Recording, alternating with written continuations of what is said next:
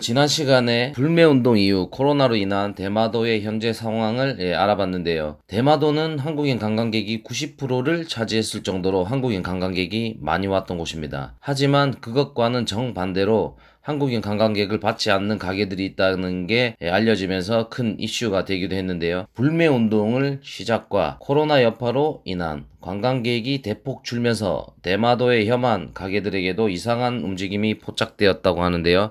오늘 이런 가게들의 근황을 살펴보도록 하겠습니다. 예, 보시면 알겠지만 여기가 예, 노코리안 가게입니다.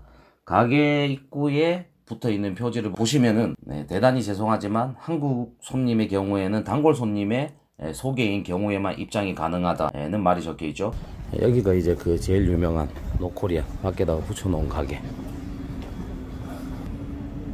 아 테이프로 더 발라놨네. 더 잘 보이게 예전보다. 여기는 90% 이상이 한국인입니다. 대마도로 오는 사람이. 그마저도 이제 다 관광객이죠. 그냥 이거 오지 말란 소리하고 똑같습니다. 그리고 밑에 적어놓은 매너가 좋지 않는 손님으로 인해 피해를 입은 경험이 많으므로 죄송하지만 양해를 부탁드립니다. 라고 되어 있는데 이거는 제가 대마도 혐한 신발 가게 그 사장한테도 물어봤어요. 그때 물어봤을 때 그 한국인 안 받을 거면은 다른 가게들처럼 입구에다가 노코리안이라고 붙여놔라. 근데 왜 그걸 안 하냐라고 물어봤을 때 그 대마도 혐한 신발 가게 사장이 이렇게 얘기했거든요. 그거를 붙여놓으면 불법이고. それをなんか外に書いてあったりとかしてもいいんじゃないかなっていう。書いたらね、法律に触れる。あ、そうなんだ。うん、書いたらね、そういうことか差別になるよ。 아, 아, 아. 그리고 대마도시에 이제 그 직원들이 이거를 붙이지 말아달라고 당부한다고 하더라고요. 당연히 한국 사람들이 많이 오는 곳에서 대마도시에서는 불편한 표지잖아요. 그런 걸 보면 왜냐면 한국 사람들이 많이 오니까. 日本語ができる人だけ来てくださいっていうのを剥がしました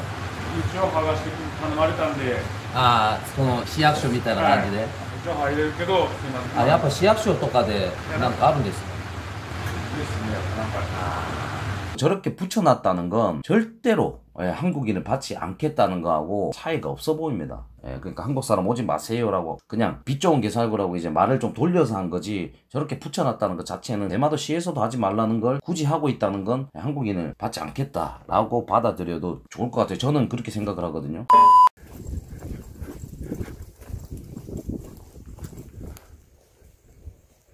두 번째 가게도 저희는 한국어 응대가 어렵습니다. 일본어가 가능하신 경우에 입장을 부탁드립니다. 라고 적혀 있는데 여기에서 뭐 알 수 있듯이 다른 나라 관광객은 없다고 보시면 되죠. 아까도 얘기 계속 하잖아요. 대마도에는 한국인 관광객밖에 없기 때문에. 일본어만 가능하면은 굳이 한국어 응대가 어렵다는 말보다는 일본어가 가능한 관광객이라고 하면 될 걸 굳이 특정 지어서 한국인 관광객이라고 하는 게 정말 기분도 나쁘고 그 정도로 대마도는 한국인들 밖에 안 온다 라고 보시면 됩니다.